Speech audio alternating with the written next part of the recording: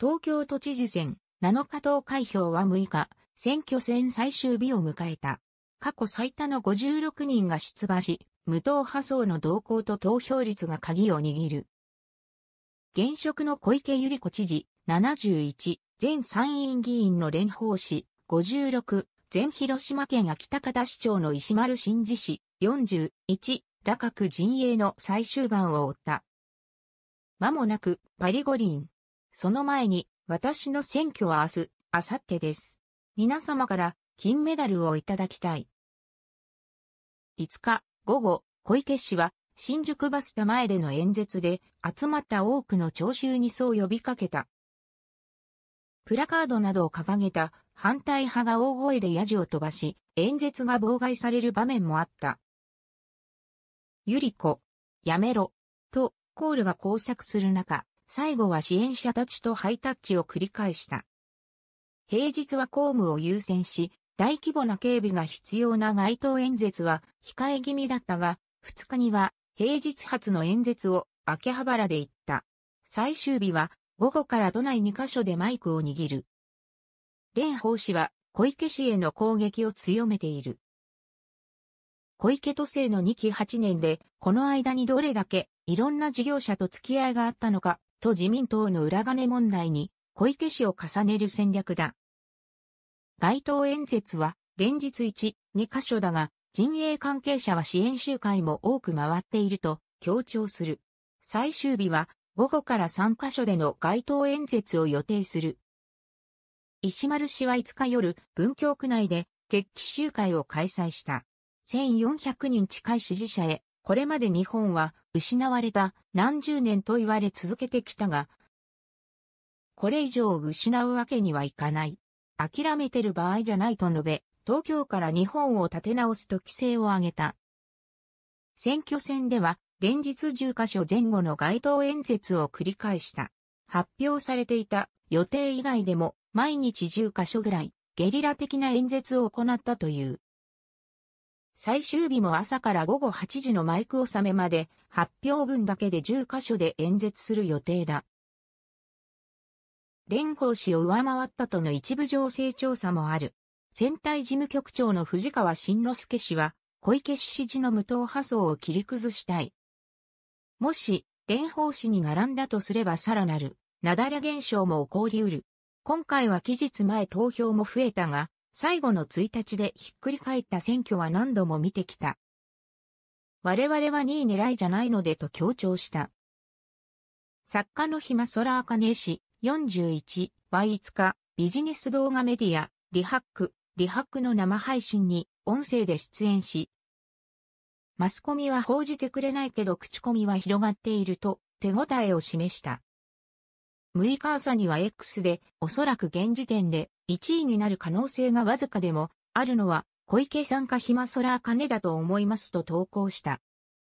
以下は、ネットユーザーの反応をまとめたものです。筆者は、最終日に主要候補者とされる候補者の街頭演説に少なくとも一度以上は参加した。その中で、最終日の小池氏のマイク納めの池袋における演説では、集中豪雨の中、演説開始を30分も延期されたが、さらに豪雨の中で行われた演説に参加し、びしょ濡れになりながら、その訴えを聞いた。また、新宿の最後の連邦市の訴えにおいては、野田元首相、枝野元立憲民主党代表などに代表される多くの野党政治家の参加する中で、雨の後のむせるような湿気の中での演説会に1時間以上付き合った。他にも言い尽くせない多くの候補者の演説に心を打たれた。明日は都知事選と都議補選の投票日である。東京の未来は有権者の手に委ねられている。東京の有権者はしっかりと投票しよう。自分の未来のために。最初から最後まで蓮舫氏は他者批判だけで終了。あそこまで中身のない選挙戦する人をなかなか見れないですよ。とりあえず落選後には公職選挙法違反の事前活動で捜査されるでしょうから言い逃れを考えといた方が良いですよ。石丸真二候補に入れるくらいの勇気を持った方が良い。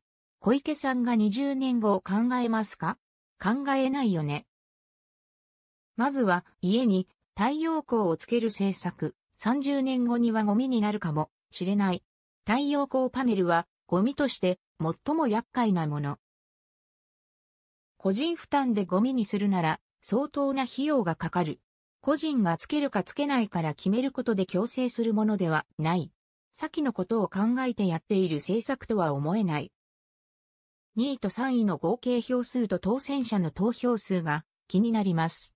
都知事選は現職が落選したことはなく、過去の傾向が当てはまると言い切れはしないが、候補者の乱立が現職の小池さんに優位になった面があるとすると、候補者調整が事前に必要だったということになると思う。あと蓮舫さんは2位にもなれないと、今後の政治生命に影響があると思う。私学助成金、なぜか所得を理由に却下されました。所得制限はなくなったのでは？問い合わせ先に電話していていますが、通話中で繋がらない。所得制限を撤廃するといった発言は何だったのか？補助はないならないで仕方がないとは思う。相応に収入があることの少佐でもあるし、生活は楽ではないが、できないことはないのだから。ただ、ぬか喜びさせられた分、腹は立っています。せめて問い合わせ先はもう少しつながりやすくしてほしい。候補者の政治理念や公約、人柄は重要だと思うけど、まずは高齢化を止めた方がいいと思う。高齢者を政治の舞台に乗せないことで少しずつ若者が住みやすい世の中になるでしょう。若者がかわいそうなのは今の行き詰まった政治しか知らないこと。政治が良ければ生きやすい世の中になっていたと感じる。他県だが、今回暇空茜氏に注目してる。彼が都知事に向いてるかどうかではなく選挙活動を一切せず、ネットと SNS 発信でこの都知事選挙のメンツで、供託金返ってくるくらいの票が取れるのか。この人が一定の票をもし取れるなら、今後の選挙運動が変わっていくのかもしれないな。蓮舫も立憲共産党も日本のマスコミもだが印象操作と刷り込みしか脳がないのか、都知事選挙に裏金問題を持ち出しても意味がないのに。批判、できもしない大風呂敷を広げて、すべて中途半端でひけらかして去っていく。ただ無駄な費用と時間だけが浪費される。そりゃ、石丸氏に負ける可能性が出て当然。単純に反自民で有権者が動いていると思って変更報道を横行しているが、日本の有権者はそんな裏金問題だけで単純にものを見ていないと思いますよ。沖縄県議会選挙の結果が物語っている。マスコミも立民も民主党政権の悪夢は、そんな簡単に忘れられることではないですよ。マスコミと立民の蘇生も知ることになりましたからね。アス連邦が負けたら、どんな言い訳をして、マスコミはどんなフォローをするのか見ものですね。最終日の今日、東京駅での石丸慎二さんの街頭演説に行ってきました。政策を話すのはもう YouTube に託して、これからの政治、経済、大人のあり方を優しい口調で話されていました。一票ではなくて、一緒に新しい東京を作っていきましょう。というメッセージでした。優しい未来へのメッセージが希望に溢れていて、涙を流している人もたくさんいました。ヤジとか大声の人はおらず、いつものように優しい愛に溢れたメッセージでした。これからの社会のあり方ですね。本当に石丸慎二さんを応援しています。こんなに素晴らしい体験をありがとうございます。人生の宝です。これからも子供たちの模範となるよう生きて、保護していきたいと思っています。